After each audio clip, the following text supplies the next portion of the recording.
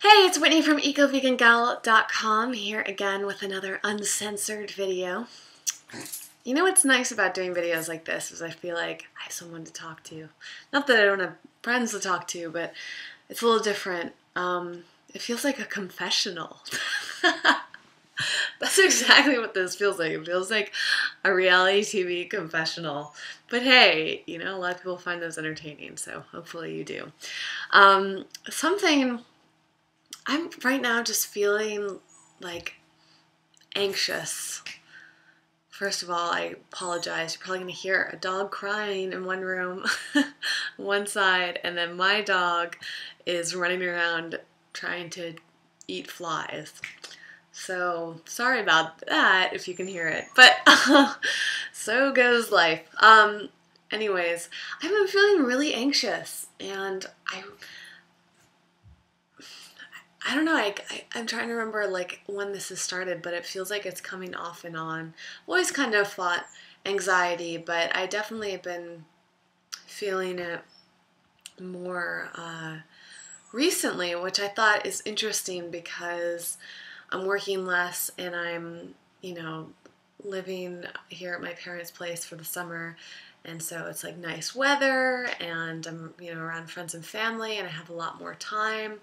I don't have you know, I don't have as many bills to pay and all of that, and yet the anxiety is still there, and it just kind of reminds me of something really important that we should all keep in mind is that um, you can't really. Ugh, flies. you can't really get away from those feelings. A lot of people like to blame feelings like that on external things, but usually it's internal.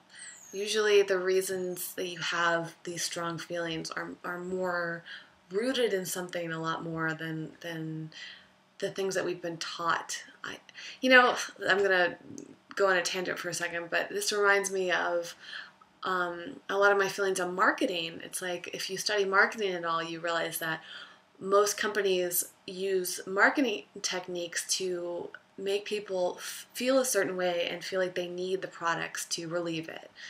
And I have a huge issue with that because a lot of times it's creating, it's actually making people worse in order to get them to buy something. So they're worse off. And then they're dependent on something, so they have to make more money, work longer hours to be able to afford the things that they think they need and they don't really need them. And we, we just kind of live in this world where we feel like we need, need, need, but really those feelings might not exist if it weren't for all this marketing out there. But the products are not going to help us, right? And uh, so I wonder if maybe I'm like going through a detox or something, being uh, here and having a lot less exposure to things. You know, I'm in this very small town in Massachusetts. I've, fortunately, my best friend is at her parents' place right now across the street while she's in transition, which is nice. But my boyfriend is like in Austin, Texas right now, so I don't know him. I only see my sister every once in a while, and I don't really see many other friends very often, so it's like basically just by myself for the majority of every day, and uh, except for online. So, you know, and I'm also not doing all the other things that I used to do. Like, it's just a different world living in the situation that I'm in. So that's why I feel like I'm kind of like in this detox.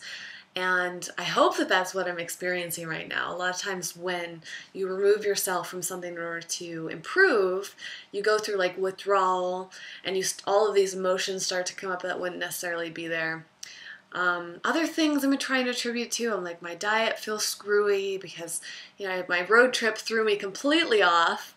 I was eating really healthy, was doing 80 10 10, experimenting with that, and then that just went by the wayside. And I've definitely gotten a lot better.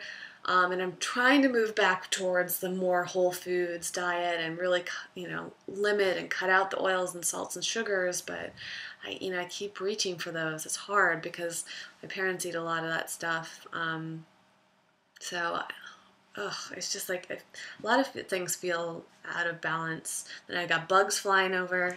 it's just right now, there these bugs are annoying me. Uh, then sometimes I wonder, you know, B12, like I've been experimenting with having more B12 supplements, and B12 I um, believe is linked to things like depression and anxiety. So making sure that maybe I'm not getting the right nutrients. So I'm really trying to figure out why exactly I have these feelings, and I think it's important for everybody to, because again, what are the roots? Are they emotional roots? Are they nutritional roots? Um, I like to figure out on those basics for determining how my emotional state is, as opposed to reaching out for some, you know, fix. Uh, so yeah, it's it's interesting. Anyways, now I, I went on that tangent. I guess coming back to that anxiety, um, it's such a bummer. I was saying in, in one of the other video um, that I did last night is like the pressure that I feel to meet these standards that I've set for myself through my website. I have like these like big ideas and big dreams and all these things that you know, it's like I have all that information, all the tools right here at my fingertips, and yet the biggest thing getting in the way is myself. You know, I have so much more time. Um, four days out of the week, I don't have anything to do. I don't have any work to do. I only work three days a week right now and only a few hours during each of those days. So you would think I would just be charging away and getting stuff done, but sometimes I wake up and I just don't want to do anything. And sometimes it just like the pressure of having things to do is a lot. Um, just kind of a glimpse into my life. It's like I have wake up every morning to emails, Facebook notifications, Twitter notifications, notifications on Instagram, um, I guess those are the top ones. And then, you know, checking Pinterest and all these social media accounts that I'm on. And uh, I love being on them, they're all so interesting. But it's like all those notifications, especially if I get questions, like that immediately puts stress on me. So I created this Google Doc a while ago where people can submit things to a form, but now it's like I get questions on there almost every day, and it's overwhelming to me and all it, all I want to do is go on there and answer them. And it sounds so simple, you know. I could probably just sit in front of the camera like I am right now, but I just my standards. I just don't want to do it. I want to get on there and I want the music and I want the the titles and the and the imagery and all that stuff. It takes hours. So thinking about that work, it's just so much. And then like I want to put on makeup and have the lighting right and I want it to look perfect all the time and then I just don't end up doing it. And I feel like I know I'm just complicating it for myself, but I'm just looking at the long run. But it's just, it's just so hard to work out. So those are the, that's just something I've been thinking a lot. It's like, what's more important, like getting it right, and so that it can is that going to really help in the long run, or should I just be producing content like I am right now? Because there are a lot of YouTubers out there, and all they do is sit in front front of their webcam and talk and answer questions. They don't worry about the time, they don't worry about how it looks, they don't worry about exactly what they're saying or editing it. And yet they get thousands of views. But I don't know if I want to do it that way, you know? So I guess right now I'm really struggling with that that feeling of do I do it the way I want to? Is that going to be more effective in the long run doing it really well, you know, producing high quality, or is quantity and getting all these things done more important? You know, not to mention emails and things like that. It's just like all these companies. This is my dream. This is what I want to do. I want people to ask me questions. I want to be interactive on all of these social media networks. And I want companies to be approaching me and asking me to, to feature them and all of that. That That's exactly what I want to do. But, so I don't understand right now why it's challenging for me. I guess, like in moments like this, it's important to just kind of sit with yourself because you're not necessarily going to have the answers right away. So, when I feel like this, like I really try to just breathe and just step back and be okay with it because for me, the hardest thing, and I think the big challenge that we have with our society, especially in America, is that everything feels so rushed. It's got to happen right now. We want things to happen immediately. And that immediacy, I feel like, leads to rush, and therefore it's not necessarily the quality that it should be. People aren't thinking about what they're going to say, people aren't thinking about how they're going to do it and the long term impact. People just want to get things over with they want to rush on to the next thing. They want to do as much as they can in that in that time that they have each day. And eventually I feel like it's going to end up with people getting burnt out. You know, I feel like that's why a lot of people will be really successful with a blog or a vlog on YouTube or something for a few years and then it just ends. And for me, I'm looking for that longevity. Like right now and and for the past few years, this is all I want to do. I want to make this my lifelong career. So I don't want to just burn myself out um, after you know a few years. And so I'm, I'm really thinking about the long run there. But I'm I'm also looking for the long term impact on my health and what kind of imprint I'm leaving. I guess it just feels like there is this rush but then I realized, what is the rush really for? Like, what's the point of a lot of things? So, having this extra time has been nice because it's really made me pay attention to what things really are.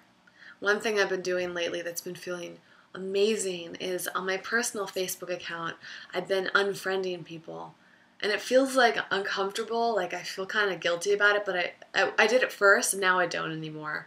I had like close to 2000 friends on there which might not not seem that much by today's standards but to me that's crazy. Who are these people? I go on there and i'm like i don't know who any of these people are. Some people like my posts and i'm like who are you? Why are you liking my posts? Have we ever even met? I don't even know what your face looks like. Um, and you know people's birthdays would come up and i'm like i can't say happy birthday to you because i don't know what to say. I'm not just going to write happy birthday.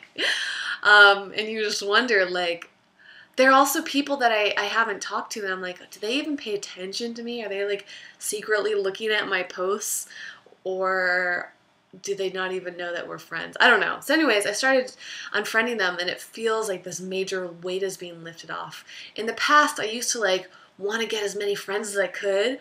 And now it's like I want to get as few friends as I can because I want to just have that special 100, 200, whoever it is.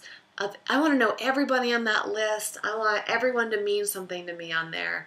And everybody else can subscribe to me or be friends with me on Eco Vegan Gal and uh, it's just started to simplify things because now the the word friends on Facebook has turned the word friends into some meaningless thing.